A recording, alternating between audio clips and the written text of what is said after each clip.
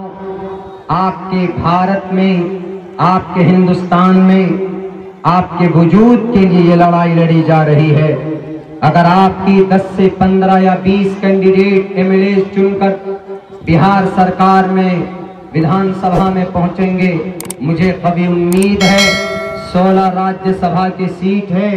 बिहार के अंदर अगर आप दो पर भी कब्जा कर लेते हैं, तीन पर कब्जा कर लेते हैं चार पर कब्जा कर लेते हैं।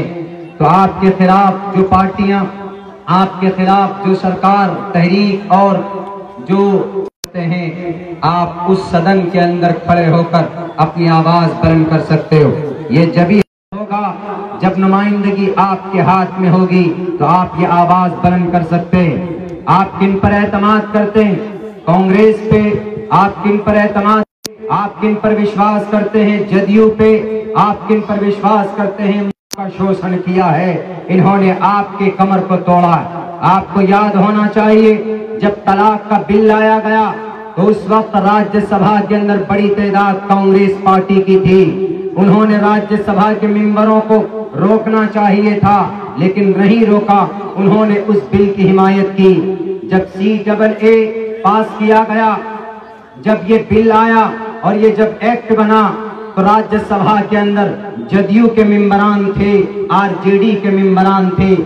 उन्होंने उस बिल का, उसका समर्थन किया, उसकी मखालफत नहीं की। ये क्या है सी डबल ए ये इस देश से माइनॉरिटी को भगाने वाला कानून बनाया गया। आपने वोट नहीं दिया था कांग्रेस को, आपने वोट नहीं दिया था जदयू को, क्या आपने वोट नहीं दिया था आरजेडी को?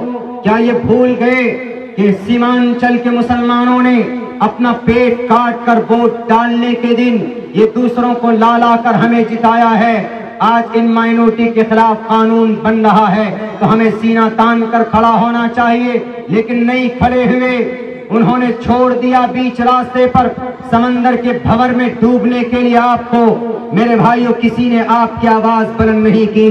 अगर आपकी आवाज़ किसी ने बुलंद की है, पार्लियामेंट के अंदर राज्यसभा में आवाज़ गूंजी है तो वो एक ही जात है, वो एक ही शख्स है, उसका नाम बैरिस्टर असदुद्दीन अवैसी साहब है।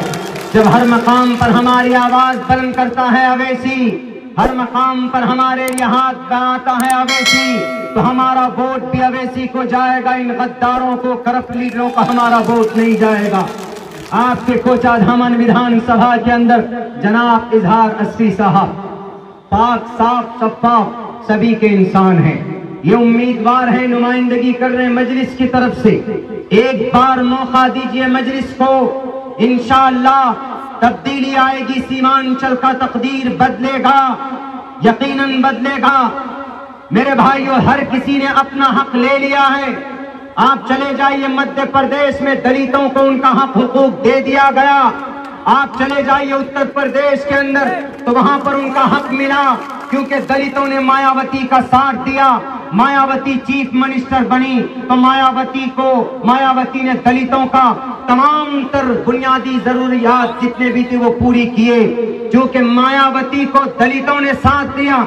यादव ने अखिलेश को चुना, मुलायम सिंह यादव को चुना तो यादव को हर्ष पर बैठा दिया जाता है। बिहार की सरजमीन पर यादव ने चुना लालू को तो यादव को हक मिल गया, ब्राह्मणों ने चुना भारतीय जनता पार्टी को, उनका हक मिल गया।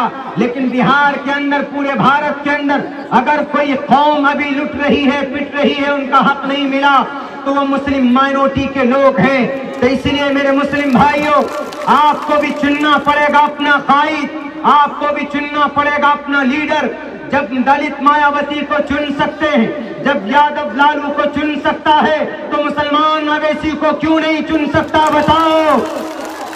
क्यों नहीं चुन सकते हम? चुन सकते बिहार के अंदर यादव कितने हैं? चौदह परसेंट। उनके एमएलए कितने हैं? फिफ्टी सेवन पचास के ऊपर। और मुस्लिम कितने हैं? सत्रह परसेंट। यादव से दो परसेंट अधिक है। तो मुस्लिम के कितने एमएलए हैं? ओनली ट्वेंटी थ्री तेईस। वो चौदह हैं तो उनके सत्तावन एमएलए और आप सत्रह हैं तो आपके कितने हैं? सिर्फ़ तेईस। जब यादव हमारा वोट लेकर सत्तावन एमएलए बढ़ जाते हैं, जीतकर सरकार उनकी बनती है तो हम सत्रह परसेंट में भी यादव का वोट लेकर हम भी बड़ी तादाद के अंदर, पटना के अंदर जा सकते हैं, सरकार बना सकते हैं, अगर हम सोच रहे तो।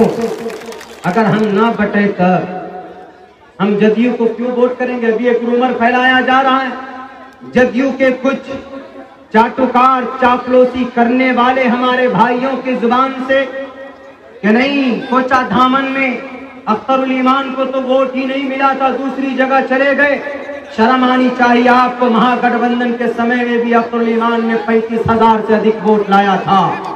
और अभी सन 2019 के इलेक्शन में अड़सठ हज़ार वोट कोचा धामन विधानसभा में अख्तरुल ईमान को मिले थे।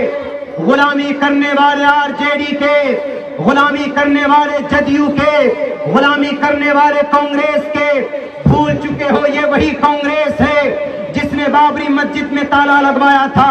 ये वही कांग्रेस है जिसने भागलपुर में 1200 नौजवानों की हत्या करवाई थी। ये वही कांग्रेस है जिसने बाबरी मस्जिद के अंदर बुत रखवाए थे। ये वही कांग्रेस है। गुजरात के अंदर तीन हज़ार माओ बहनों की इज्जतें लूटी गई। तो ये कांग्रेस के जमाने के अंदर एफबीआई, इंटेलिजेंस, सीबीआई के तमाम तर मराकज इनके कब्जे में थे। लेकिन इन्होंने कोई कार्रवाई नहीं की।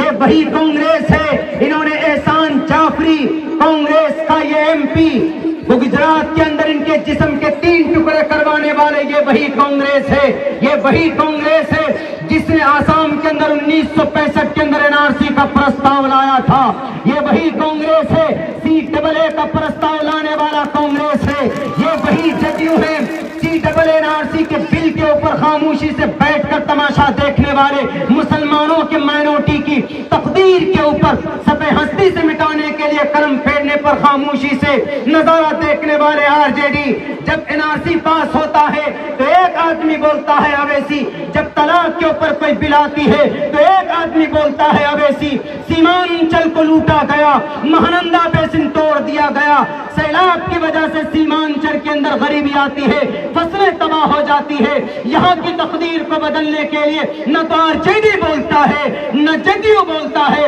न कांग्रेस बोलता है। अगर कोई बोलता है तो अवेसी बोलता है। हर मकाम पर जब अवेसी बोलता है तो हमारा वोट भी अवेसी को जाएगा। इन करप्ट लीडरों को नहीं जाना चाहिए। मेरे भाइयों, तकरीरें बहुत होती इस बार अल्लाह ने आपको मौका दिया। इस बार आपके पास विकल्प है ना? अब से पहले तो आपके पास विकल्प नहीं था। वही जदयू, वही आरजेडी, वही कांग्रेस। हमारे जो कि हाथ के अंदर आज पसीने छूट रहे बड़े बड़े नेताओं के। कुछ नेताओं ने क्या कहा? है मौलाना अब्दुल्ला साहब दस हज़ार, बारह हज़ार वोट लाकर सीमेंट खाए।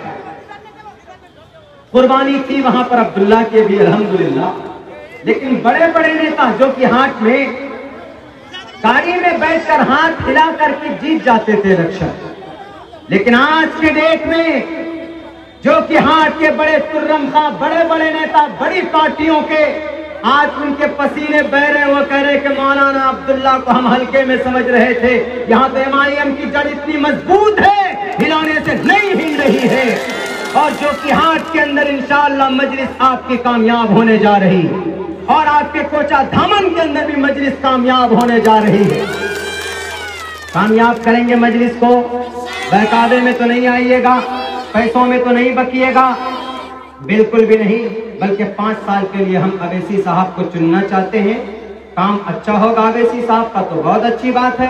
अगर कोई गड़बड़ी होगी तो पाँच साल में बदल देंगे अपना लेकिन एक बार मौका मिलना चाहिए कि नहीं मिलना चाहिए? बहुत बहुत शुक्रिया मुझे थोड़ा आगे जाना है। उधर बाईसी की तरफ़ प्रोग्राम है इसलिए मुख्तसर वक्त आप लोगों के सामने आ, मैंने मेरी शिरकत कुछ नसीबी है। बहुत बहुत शुक्रिया जजाकल्ला